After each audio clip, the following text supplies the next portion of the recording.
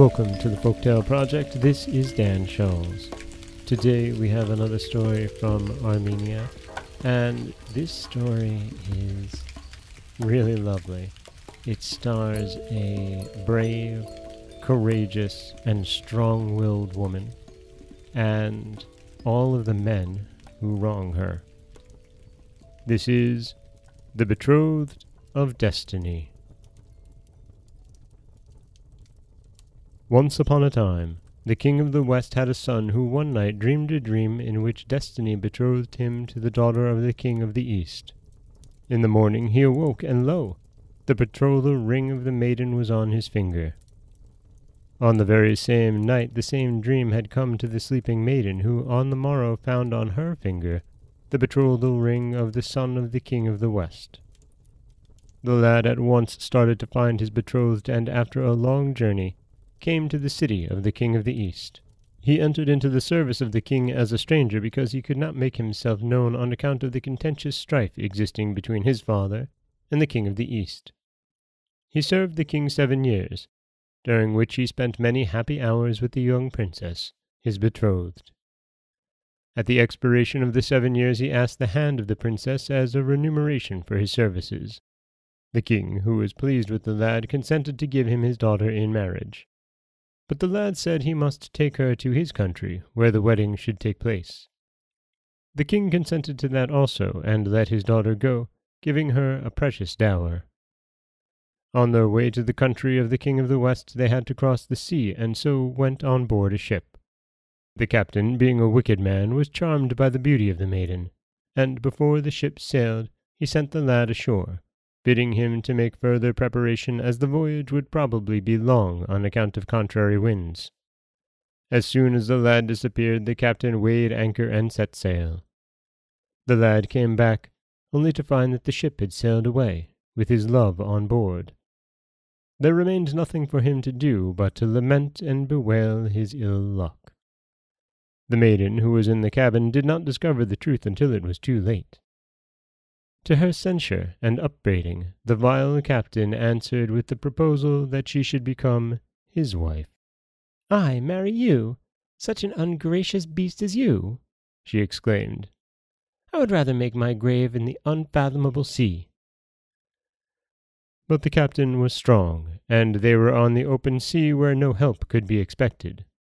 Seeing that she could not resist force if the captain resorted to it, she resolved to use craft. Well then, she answered finally, I will be your wife, but not upon the sea. We will go home to your city, and there be married lawfully. The captain consented, and they soon reached the city.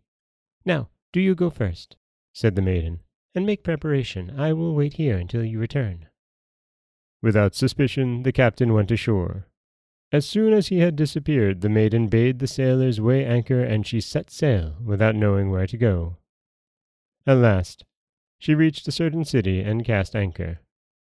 The king of that city was a young lad of marriageable age who was celebrating his wedding festival. Thirty-nine beautiful maidens were already elected.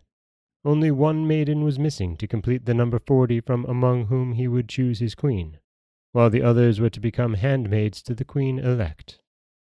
The king, hearing that a beautiful maiden had come to the haven, hastened thither, and seeing the princess, said to her, Fair maiden, come, and by your presence complete the number forty. You are the jewel of all the maidens, and will surely be my dear queen, while the rest shall become your handmaids. Very well, I will come, answered the princess. Only send hither your thirty-nine maidens, that I may come to your palace with great pomp. The youthful king consented and sent his maidens on board the ship. As soon as they came, the princess weighed anchor and set sail. She told the thirty-nine maidens who she was and asked them to accompany her until destiny showed them what to do. The maidens were fascinated by her beauty and commanding appearance and promised to follow her wherever she went, even to the end of the earth. After sailing for a long time, they came to an unknown shore where there was a castle. They cast anchor, and all the party landed. Entering the castle, they found in it forty rooms with a bed in each, all richly decorated. The castle contained great wealth and abundant food. Satisfying their hunger, they went to bed, each maiden occupying a chamber. In the middle of the night the door of the castle suddenly opened, and there entered forty brigands, who were the owners of the stronghold, and who were just returning from a nightly foray, bringing with them great booty. Aha! exclaimed the brigands, seeing the maidens. We hunted everywhere, and lo, the antelopes have come to our own home. Enter, you brave heroes, said the maidens. We were waiting for you and they pretended to be very much pleased to see the brigands who entered the rooms occupied by the maidens without suspicion. When they had laid down their arms and retired to rest, each maiden took the sword of the brigand who lay in her room and cut off his head. Thus, the maidens were the owners of their wealth and property. In the morning the maidens rose, and putting on the clothes and arms of the robbers appeared as youthful knights. They mounted the brigands' horses, taking in their saddlebags gold, silver, jewels, and other portable wealth. After a long journey, they came to the city of the King of the West and encamped in a meadow on the outskirts of the city.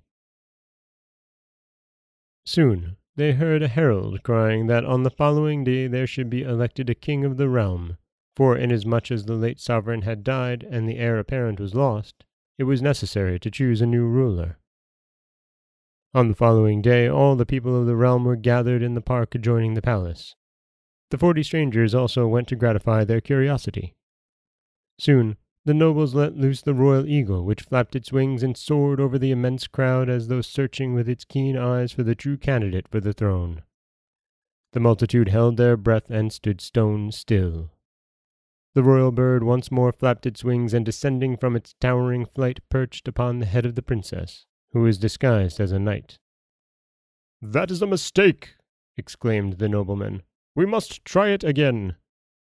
Once more they let loose the royal eagle, but again it alighted on the head of the same stranger. A third trial gave the same result. Thereupon all the multitude saluted the disguised princess, the elect of destiny, exclaiming with one voice, Long live the king! And with great pomp they took her and her companions to the royal palace, where the princess was anointed with holy oil and crowned king over the realm, and her companions were made ministers. This new king proved to be the wisest and most just ruler that that country had ever enjoyed, and all the people of the realm loved and honored their sovereign with all their hearts. She built a splendid fountain in the midst of the city, on which she caused her image to be carved, so that everyone who came to drink might see it. She put guards to watch the fountain day and night, and said to them, Watch carefully, and when you perceive a stranger who on seeing my image shows signs of knowing me, bring him hither. One day there came a stranger who after drinking raised his eyes and saw the image. He gazed for a long time and sighed deeply. Immediately he was arrested and taken to the king, who, looking at him from behind a curtain, ordered him to be imprisoned. This was the captain of the ship. On another day there came another stranger, and he also sighed. It was the king, the owner of the thirty-nine maidens. He was kept in an apartment of the palace. And at last, disguised as a stranger came the prince, the betrothed of the ruling sovereign and the heir apparent to the crown. He also looked at the image inside and was taken to the palace. Thereupon the princess summoned a parliament of all the nobility and the learned and wise men of the realm. She caused the three strangers to be brought before the assembly and told her story from beginning to end. The captain was condemned to be hanged and was executed forthwith. The lord of the thirty-nine maidens received them all, to whose number the princess added one of her most beautiful handmaids, thus making up the forty. The prince and the princess, the betrothed of destiny, celebrated their wedding with great joy and pomp for forty days and forty nights. The prince, as the true heir, was crowned king, his consort became queen, and they reigned together. Thus they reached their desire. May all of us attain our desires and the happiness ordained to us by an all-wise providence. Three apples fell from heaven, one for me, one for the storyteller, and one for him who entertained the company. That is the Armenian tale of the betrothed of destiny. a story that, man, I love this princess.